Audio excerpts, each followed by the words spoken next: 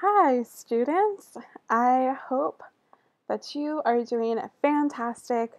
Welcome to another notes lesson. Today we are talking about the southern colonies. Now, when I last talked to you, we discussed Jamestown. So, Jamestown is a colony in the southern colonies. Uh, the reason we talk about Jamestown specifically, and we're not why we're not going to talk about all these other different like small little colonial towns, is because Jamestown was the first permanent settlement. Okay, I can't repeat that enough. Jamestown, first permanent settlement by British by the British in the New World. Okay, um, so today we're talking about southern colonies. We're also going to eventually talk about New England and middle colonies um, similar to your map. Uh, the reason I, am going to go on to the next slide and I'll keep talking because you probably want to start writing. um, and the next slide kind of just reviews Jamestown a bit. So I'll keep talking, you write, and we'll just do this together because it's all about teamwork. So, Southern colonies. Um, the reason we talk about the 13 colonies, first of all, is because these colonies are going to form the United States of America, right? These 13 are the original colonies that will become states and then eventually join together and become the United States of America. So these colonies are the foundation of our country. That is why we study them. It's so important because this is where we started from. This is where our country started from. That's why we study it and we try to understand it. And understanding like the development of these colonies is so important. Like if you go back and trace things from the colonies to like how it affects society today, it will be- it will help you better understand society today.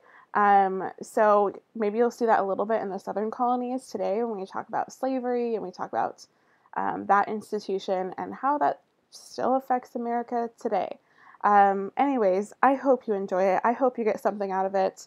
Um, and uh, just sit back, relax, take a few notes, and I will be your guide. So, we are traveling through the South today. I wish I could do a cool Southern accent for you in this video, but I have not perfected my Southern accent. So, you'll just have to have regular Miss Collins. Okay, uh, Southern colonies. So, we already know we got the Virginia Company, they're going to send out, there's two parts of it the Plymouth Company and the London Company.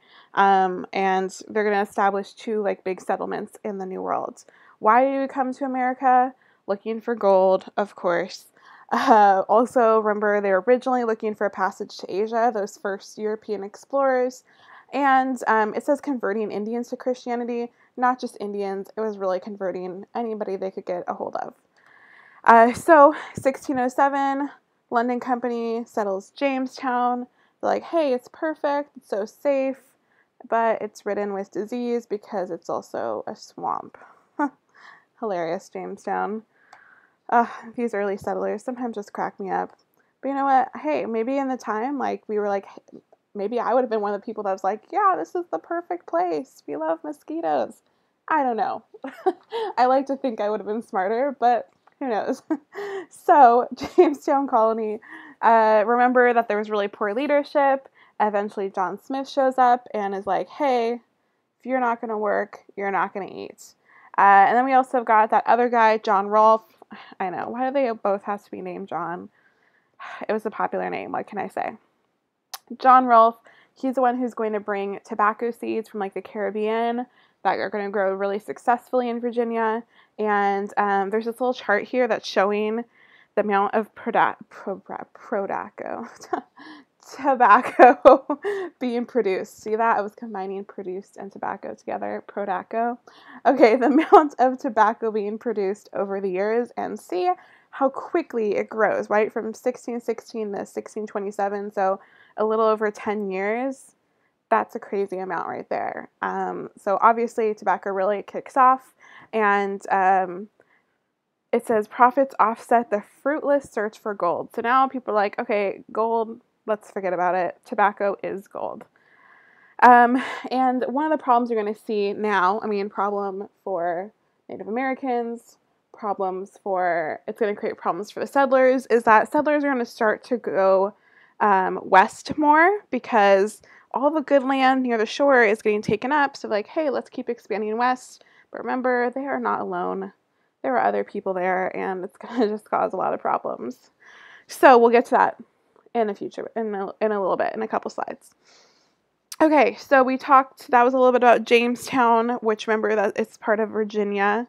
Um, let's talk about Maryland. Oh, Maryland's, sorry. Maryland's is going to be started by this guy named Lord Baltimore. And he was an English noble. So remember, nobles, they were like the wealthy, rich people. And uh, he's got a pretty awesome life in England. And then he's like, hey guys, guess what? I'm Catholic now. And that's a problem because remember our good friend King Henry VIII, who had his six wives? And I remember, he had a little problem with the Catholic Church because they want to give him a divorce. And they're like, hey, sorry, Henry. And so then he starts his own church, right? The Anglican Church. So meanwhile, you got Lord Baltimore, who's like, hey, I still think it's cool to be Catholic. and um, most people are like not thinking it's so cool to be Catholic anymore after it's officially not the official religion of England. So, anyways, he is Catholic and he's just having some troubles in England. And he's like, I want to make a colony in the New World for Catholics where um, we can have religious freedom. Um, so that's where Baltimore, his son ends up taking over after he dies and um, establishes this colony. And a lot of settlers come, yes, for the religious freedom, but also because Maryland has a lot of natural resources and really good farmland. So it's just got a lot to offer. Um, and they're not just welcoming Catholics, they're very tolerant. They accept Protestants as well. Um, and they're going to create this act of toleration, which basically says, hey, you are welcome to come here and practice your religion freely. Isn't it interesting, like, how much that was like a value? You're going to hear this continually when we talk about the different colonies. Like, people coming to the colonies for religious freedom. Um, and that was a huge deal in the founding of our country and the founding of our nation. And it's still a huge deal in America too to this day. There's lots of con- there are a lot of countries around the world where you are not allowed to practice any religion you want. Like you have to practice whatever the country tells you to practice. So um, it's still a very unique idea, and um, you'll see that more in the development of our government. Okay, let's talk about Sweet Caroline, do, do, do, or Province of Carolina. I'm just trying to keep you guys entertained here, keeping you awake. Make sure you're listening and not turning down your volume and saying Miss Collins is the worst. Okay, the Carolinas. It's basically a two for one deal um, because it's going to start as one colony and then it's eventually going to be split into two, not until 1729. So, way down the road. Um, but originally it's chartered in 1663, um, has a representative assembly, assembly similar to Maryland's, um, a lot of Protestants, um, you got some French, and um, some of the West Indian planters who brought slavery to the region also come there. Uh, and the economy is based on cash crops. So remember cash crops. So if you're a farmer, you're like, okay, I'm gonna grow some my corn and stuff. That's like for my family to eat and then I'm gonna grow some tobacco and I'm just gonna grow that to sell. So that's like a cash crop. It's not really being used for like food or a substance for you and your family, it's just to make money. Um, other things to talk about with the Carolinas, you're gonna see North Carolina is a lot more smaller farms, and um, a lot of people are gonna come from Virginia to North Carolina and put tobacco there and grow tobacco. And South Carolina has much larger plantations like huge plantations. It's very similar to like the Caribbean and um, just very nice. If you've ever been to South Carolina, I haven't, but it looks very beautiful. I would love to go. Okay, cool. So let's keep going. let's talk about our, our poor friend Georgia, who you might have kind of gets a little bad reputation. so Georgia is going to get granted a charter in 1732 and um, if you guys can say this guy's name, I would love to hear it. Founded by General James Oglethorpe. What a great name, right? Oglethorpe. What if they had named the colony after him? What if that instead of it was Georgia, it was Oglethorpe? Well, luckily it's not uh, called Oglethorpe, it's called Georgia.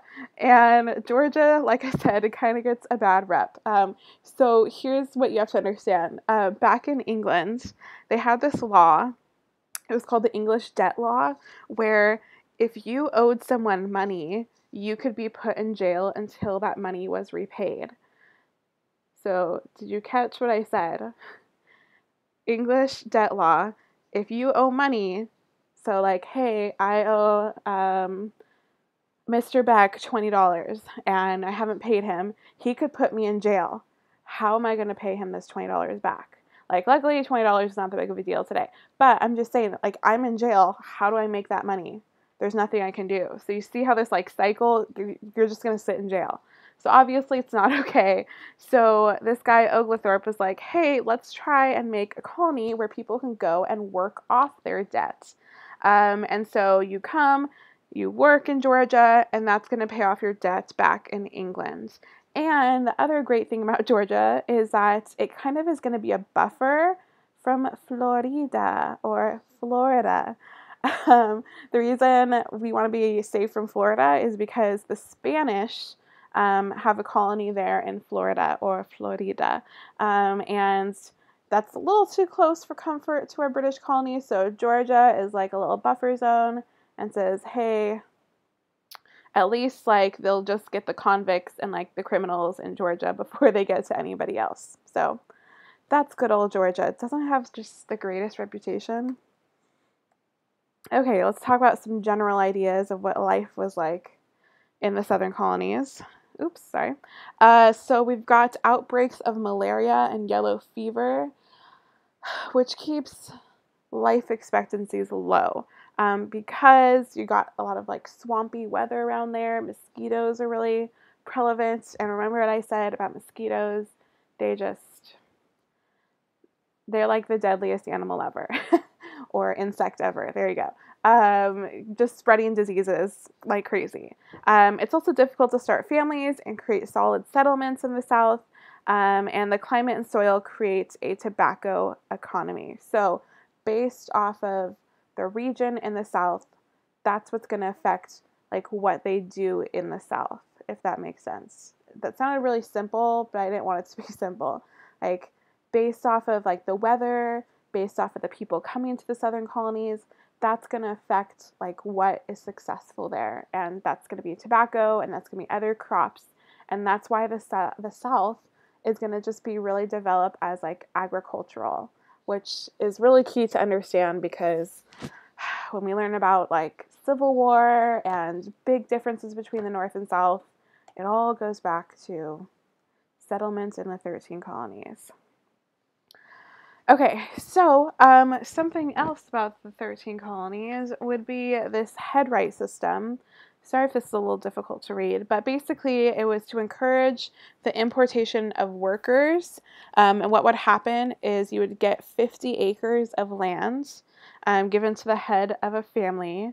Um, and you could even receive up to a thousand acres just if you came and worked in the colonies. Um, so that was incentive. Come and work, and you will get land. And remember, England is only an island, so there's only so much land there. Um, America is kind of like endless and abundant at this point. Um, so land is valuable. Okay, let's talk about our good friend bacon. Yeah, bacon. We're going to talk about bacon today, not the bacon that you have for breakfast or on your sandwich or covered in chocolate. we're talking about a guy named Nathaniel Bacon. Um, and this is really important to understand Bacon's Rebellion because you guys are going to be doing a little newspaper project about him, um, about the rebellion, in fact. So make sure that you're paying attention to this because you want to understand it. So when it comes to do your newspaper, it's super simple for you. Okay, so Bacon's Rebellion um, we're basically jumping back to Jamestown, so don't get confused.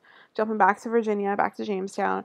And here's what you've got you've got this guy named Governor Sir William Berkeley. And all the governors at this point are appointed by the king in England because these are British colonies. Um, Berkeley is the king's favorite, he's pretty well respected. Um, he's also, though, a little bit sneaky. Um, he makes a lot of money from the fur trade with the Native Americans. So his goal is to keep a friendly relation with the Native Americans. So you might want to add that on there. I know it's not, it might be on the next slide. Let's see. Yeah, we have to go through a lot on here. And then I'm really talk about the next one. So you might want to add that on there just so it might help you with your paper, um, your newspaper. That's um, he his goal is to keep friendly relations with the Native Americans because he makes a lot of money trading furs with them. Okay, um, which is gonna you'll see is gonna cause a problem. And then you've got this guy Nathaniel Bacon Jr. Um, and he also lives in Jamestown. He's more of a troublemaker, and he's gonna be sent to Virginia by his dad. And he's like, ah, this kid's driving me crazy. I'm gonna send him to Virginia and hope he grows into be a man. Um, we'll see. We'll let, let's see if that happens. And he is very well spoken. Originally, him and Berkeley are like kind of buddies. Like they get along pretty well. Um, and but Bacon is just like a well spoken leader. What a surprise! His name's Bacon. What do you expect from that? Okay, so what? Why? The, what's going to happen with these two people? Um, you're going to have this big conflict, which I kind of talked about before, where you've got more and more people coming to work in the colonies. Um, a lot are coming over, like, just to get lands, um, for different opportunities, for religious freedom. But you're going to get a lot of new people coming to the colonies, and they want land. And as I said before, all that good land that's on the coast like close to the water, close to like trading and stuff, that land is getting taken up by like the wealthy and like higher ranking people. And so said like the newer settlers have to start moving more west and getting more land there. Um, and like I said, it's not like this land is just empty. Um, there's Native Americans that live here. And so you're seeing like a lot of Indian attacks, a lot of fights in the frontier, and obviously no one is innocent in this. It's not like the Indians are just attacking people. Like the settlers were not respectful either and not very good and did not always treat the Native Americans in a good way at all. Um, so basically, that's the conflict going on. Bacon is one of those guys who's like, hey, I want better land. I don't want to keep fighting with the Native Americans. People are dying, and Governor Berkeley is doing nothing about it. Colonists are dying from Native American attacks, and Governor Berkeley is doing nothing about it. So, Nathaniel Bacon basically gathers all of his homies, um, his other like former indentured servants, other like farmers that are out on like the more western, like poorer farmers, and they basically like lead a huge protest into the into the town of Jamestown, and they make like demands, and eventually they're going to burn down Jamestown I know, crazy. Can you imagine like if someone did that today? They like marked it, marched into like San Diego, and they're like, "Ah, this is what we want," and then they just burn it down. Um, obviously, the city was not as big as San Diego, but just think about that. so they burn down the city, um, and it's just like this huge conflict that happens between again Bacon, Berkeley, and it's going over this like bigger idea though of how are we going to deal with like expansion um, because no one is like protecting these colonists and we're just governor berkeley is like hey i want to keep a good relationship with them because i want their fur trade but we have colonists like innocent colonists that are dying as well. Um, governor berkeley ultimately crushes the rebellion and um, bacon also ends up dying very tragically like very recently after this from disease and so that's like the main thing that ends the rebellion but regardless, it ju- it did bring up this point because um, what are we going to do with this new land in the West? How are we going to handle the Native Americans? And this bottom point here says landowners begin to distrust indentured servants and import more slave labor. Because indentured servants are technically like they're free men. They're still like bonded to you to a certain amount of time to work, but after that, they're free men. A slave is an item, like a piece of property that you own. So you could like have that slave forever and use it forever. Um, not that this is okay in any way. It's just breaking down this idea of why like people are going to want to use slavery more. Okay, um, so the last couple of things we're talking about really quick uh, slave trade. We've talked about this before. actually, this map should look very familiar to you because you're going to see an increased number of slaves coming to the colonies. Um, so, the Royal African Company lost its charter in 1698, um, and because of that, a bunch of colonists are going to rush in and try and make a profit on the slave trade. Um, by the 1660s, you're going to see slave codes, which are drawn up by the colonial governments to um, delineate between servants and slaves' rights. Um, so that's kind of going over again what I was saying with like indentured servants versus slaves. Like indentured servants were still seen as like British, like free men, and slaves are not. They're seen as like a piece of property, which is completely ridiculous. But um, so with slavery coming into the colonies, and um, the reason we're talking about this with the southern colonies, I know we talked a little bit about slavery, we'll talk about it more this semester as well, but slavery is going to like rule in the South, and it's going to become super prominent. Um, about 10 million Africans were forced over the over the course of three centuries, so about 300 years, to come to the Americas. Um, the first Africans came to Jamestown in 1619. Slaves were um, too expensive for poorer colonists, um, but then it says by the 1680s, rising wages in England shrank the pool of servants coming over. So, rising wage, ugh, rising wages in England means less servants coming, like less indentured servants coming over, and more need for slavery. Um, and yeah, that's just sort of like just want to give a brief introduction to slavery and it coming into the southern colonies, and we'll get more into that when we have time to get more into it. But that is it for today's lesson. I hope you enjoyed it. Next time I see you, we'll be talking about another group of colonies, either New England or the middle colonies. So have a wonderful day and make sure you put your notes in your notebook. And that's